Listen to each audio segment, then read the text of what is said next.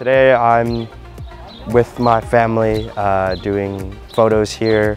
Uh, we went to the Lily Pond, uh, went to the chapel, uh, went up by the K1 neighborhood, um, and really just took photos and you know reminiscing about you know important times here at Punahou. Uh, it's it's a bit surreal. It, I don't think it really has set in yet that uh, I'm graduating, but it's it's cool to see all the places that I've you know gone through um, and see them in you know a new light from the perspective of somebody who's you know leaving.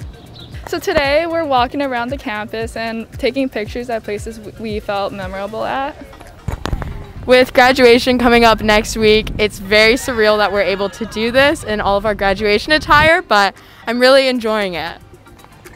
I'm so excited to see everyone. Everyone looks amazing, and I'm excited to walk down the aisle with my classmates next week.